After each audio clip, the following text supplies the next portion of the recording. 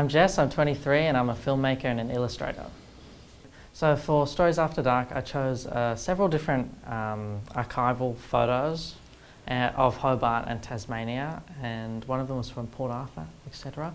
And I used my character Tornado Head as like, uh, and I drew my character Tornado Head like interacting with the photos thought my character Tornado Head would be really cool to use because he's very edgy and so is Mona, it's quite edgy. And I was like, how can I inter interweave these two things together for the exhibit? So I took like Tasmanian photos and my character and had them interact with each other. Um, and that's like the historical element from the archives that I used. So for each picture, I would find a picture and then I would think, hmm, how could I have Tornado Head interact with this? So I had him like flying a kite um, in someone's lap, which was quite funny, and just doing things that you wouldn't expect to see in an old photo because old photos there's this like serious nature to history and I was trying to make it more like jovial. On the day of the installation it was really windy and I was also very tired.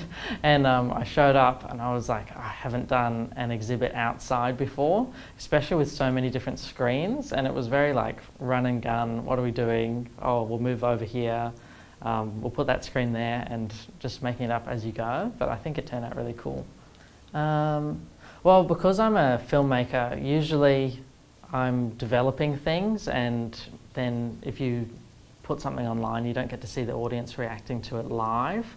So um, witnessing like kids interacting with the with the artwork on the night was really cool and they get excited about it and I was kind of standing there almost like a ghost like looking over I'm like oh they don't know that that's my art and they were getting really excited about it I was like oh my heart I feel so like full now um, well we're trying to make a tornado head series um, using the same character and his life in a kind of Lynchian landscape that is Hobart but a little bit weirder. Um, so hopefully we'll be seeing more of Tornado Head. It was really exciting to be part of Dark Mofo because it's such a huge event. I'm like, oh, the prestige of Dark Mofo.